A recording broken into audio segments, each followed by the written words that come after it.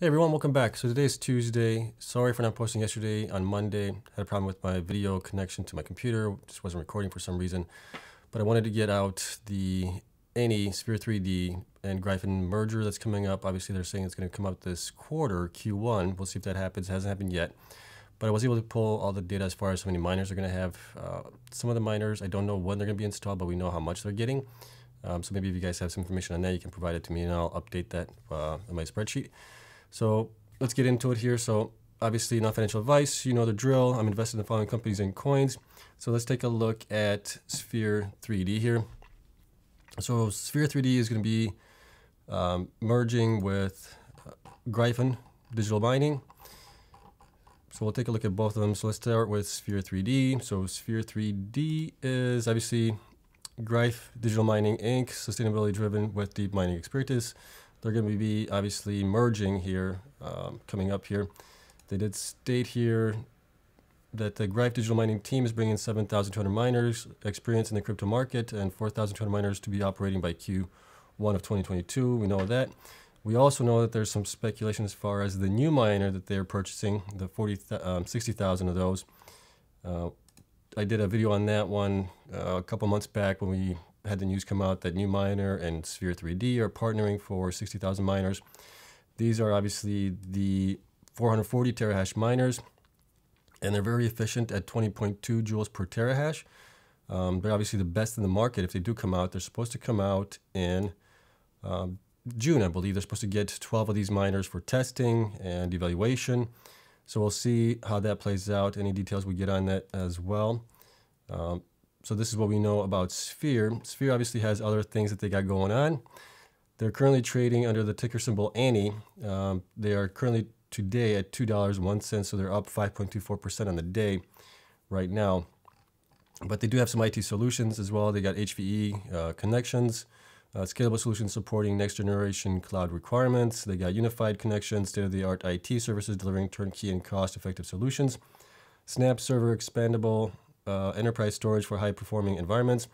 And they have SnapMine, a cost effective plug and play cryptocurrency mining solution. So let's take a look at that, see what they're bringing to the table to the mining space. So Snap Server's latest product, SnapMine, is a cost effective plug and play mining solution allowing both individual and commercial users to start cryptocurrency mining quickly and easily. Whether they are beginner or experienced miners, SnapMine offers a custom engineered miner utilizing industry-leading components to optimize performance and efficiency. It features easily interchangeable graphic card inputs, increasing log, uh, log, log, longevity, energy efficiency, and ROI as users uh, launch, enhance, and scale their mining operations. So they're basically putting in GPUs into a rack mount server that people can mine. I'm guessing Ethereum and other um, coins that you can mine with uh, graphics cards. So they got that going. Have not seen any of these out in the wild. There might be some videos out on YouTube I didn't check. Um, so I'm not sure how many they're selling of these units here. Plus, not sure how much they're making on everything else. Uh, I looked through their um, SEC filings. Haven't seen a recent Q10. Was it Q Q10 and Q forms for their quarterly results or anything? Haven't seen anything recently. So we'll see when they update those. Um, let's take a look at investors here really quick. So investors, um, this is information about them. So we obviously have the latest information uh, that they received a deficiency notice from NASDAQ and that was uh, on something here. And then obviously in February of 03 last this year, Sphere 3D to grow its Bitcoin mining capacity to 32 exahash through the purchase of 60,000 miners. So we saw that. So let's take a look at their SEC filings here. As you can see here, I got 6Ks, uh, 425s, S8s, um, but I'm not seeing any of the quarterly reports here. Let me see if we can go back even further than that. 6K effect, yeah, we're going back into 8 FX, 6K, 3A. Not sure when the last time they actually reported their uh, quarterly results. Going back to June SD 6K effect. Um, so it's kind of iffy a little bit on that. I'm not seeing any of their obviously reports for quarterly results. Uh, but I did go through a lot of these uh, latest ones here trying to find out what they did mine or what they're actually going to have as far as mining equipment goes. and obviously we are taking a look at uh, Gryphon as well. Gryphon is the one that, that has basically the miners currently partnering with uh, Sphere 3D. They're going to get more miners through the new miners. And on their website here, they state that they have 720 petahash of potential hashing power on a standalone basis with 6.7 exahash uh, post merger. So that's merger with obviously Sphere 3D. Uh, operating break-even cost of 7,262 per BTC, and they have secured 250 megawatts of capacity. Leadership team is obviously uh, pretty interesting. You got uh, CEO and director Robert Chang, previously served as CFO of Riot Blockchain. We know Riot. Riot is one of the big uh, big guys in the market right now. Uh, then we also have executive chair of the board, Brittany Kaiser, globally renowned expert in blockchain technology and digital assets, founder and president Dan Tolhurst, previously held senior uh, strategy roles at Disney and Netflix. And then we got chief technology advisor. Uh, Chris Ensey is the former CEO and COO of Riot Blockchain and has overseen the development of over 100 megawatt mining operations. So there's obviously a lot of experience here in the crypto space and mining, which is good on that part. Um, they are obviously planning on a merger with Sphere 3D. Uh, we don't know when that's going to happen, but here's what I was able to find out from the information here. So this was released, uh, when was this released? This was released, let's see if it says it here. It doesn't say it here. Uh, plan of merger dated June 3 is amended. So this is amended on December 29, 2021. So upon fully deployment, Sphere 3D will be one of the largest carbon neutral Bitcoin miners in the world. Sphere 3D enters into agreement to acquire 60,000 next generation NuMiners, Bitcoin miners operating at 440 terahash for a total capacity of 26.4 exahash. Sphere 3D previously contracted to purchase 60,000 Antminer S19 Pros, uh, totaling 6.8, 6.0 exahash for delivery in calendar 2022. So we don't know when. This is the one that I don't really know when those coming in, along with the new miners here. Total consideration for the NuMiner machines includes 400 million of Sphere 3D capital stock, 29 million in cash, a Sphere 3D option to utilize up to 1.1 billion in vendor purchase financing, and up to 8, 185 million of additional milestone payments as discussed below, for a total of 1.7 billion for 26.4 exahash. And then we also found this. This was published just recently on February 3rd. So Sphere 3D to grow Bitcoin mining capacity to 32 exahash through the purchase of 60,000 NuMiners and NM440 BTCs. And here is where we get a little bit uh, more information on what's going on. Uh, so right here, so Gryphon Digital Mining Inc., Sphere 3D's proposed merger partner, currently has 3,000 machines in operation and an additional 500 machines that Gryphon has now deployed on behalf of Sphere 3D, so a total of 3,500, as well as another 500 expected to be operational by the end of the month. So we know where they're basically going to be at. Um, one of the bad things is right now there's not a lot of information being presented. Um, I don't know if it's because of the merger going on but we'll have to figure out what's going on as far as I'd like to. Well, I'd like to have them get basically uh, monthly production updates like all the other miners provide, which is great, helps us out tremendously. Um, with that, what are they at now? Quarterly results would be nice to have as well to see what's going on there. Um, and I think that's why the stock is where it's at right now, being so low priced. Um, so let's get into some of the numbers here that I got for them, and we'll go from there. Uh, let's see here. So that's over here. So here's what I got. Um, right now, they're obviously at two dollars one cents. Shares market cap. I'm pulling this from Google uh, Finance. So this is what it's providing me with. So I'm getting basically 63 million shares right now. Post merger, I'm guessing this is going to go up quite a bit. I don't know exactly what it's going to go. And if you have any information as far as any updated information, what this is actually going to be, uh, I'd love to see it.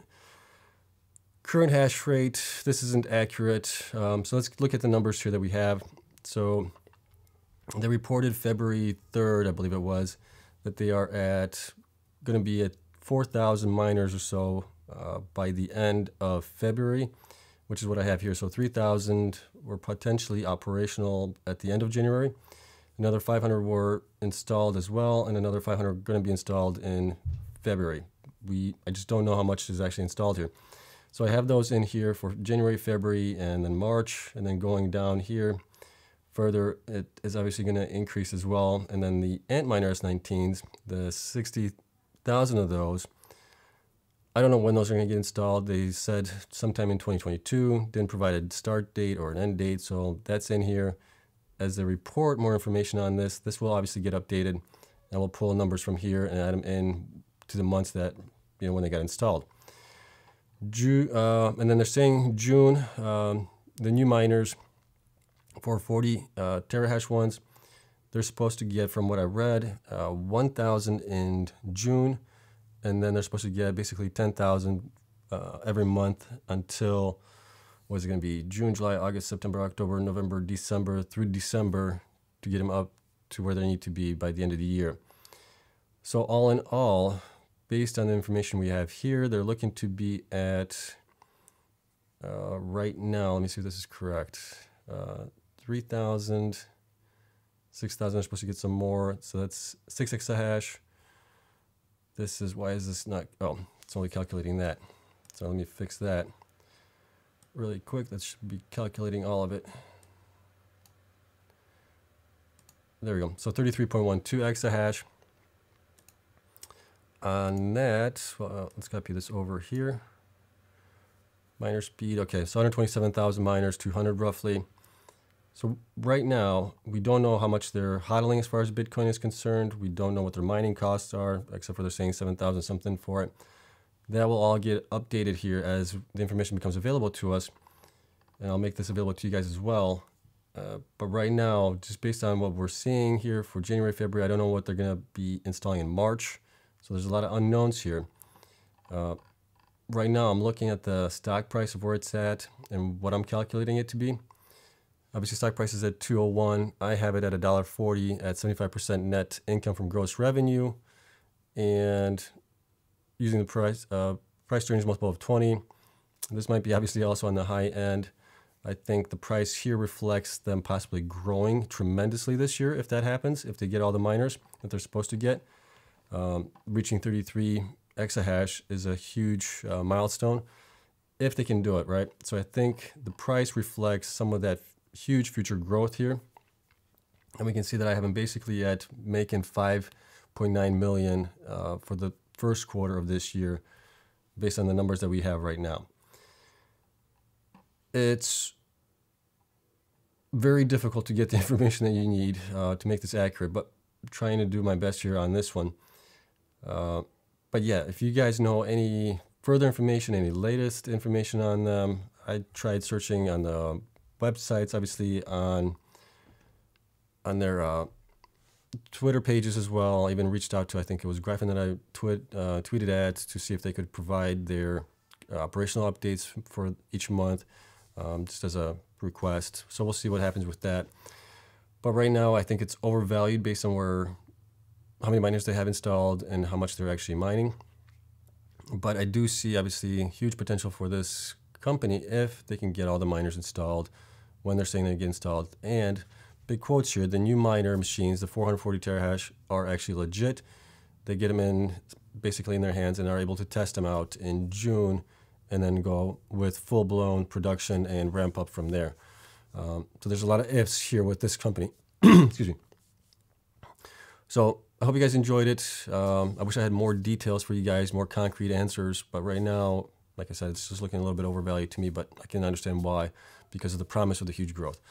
So let me know what you guys think in the comments down below, um, and then we'll go from there. I'll be working on the next video, which is going to be the Mawson video on their numbers for Q4 and the end of year 2021. That'll be coming up next. Um, but yeah, let me know what you guys think of all this. Thank you so much for watching. As always, this is uh, spreadsheet is available to my Patreon members, and I appreciate you guys watching. And uh, if you guys could just hit the like button, subscribe, would help me out tremendously. That's all I ask from you guys.